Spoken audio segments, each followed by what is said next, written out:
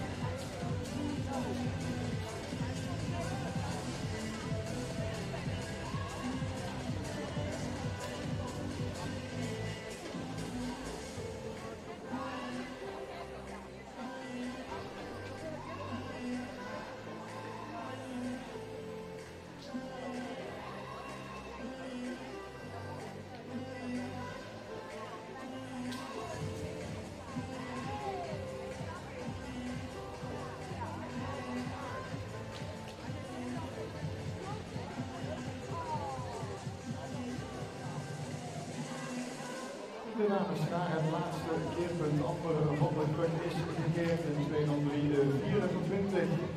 Dan wordt zij gevolgd door Milou van Winkel. Eerst nog Susie Pelles in de schoolslag wat sneller ingezongen heeft dan Van Winkel. En daarna Akina Konsma. Na 150 meter zitten alle vier dames onder de doorkomsttijd van het ja, die 50 meter vrije slag gaat zijn. Terug hier naar de snelste tijd.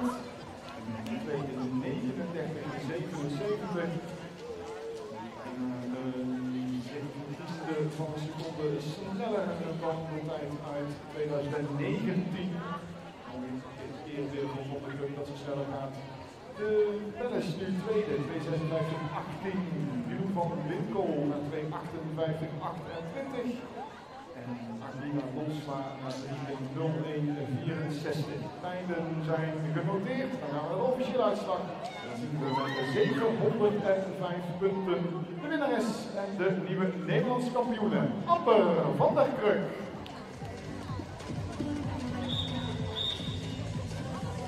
Dat was het fluitsignaal van de Marazwemsters en wij gaan aan u voorstellen de B-finale.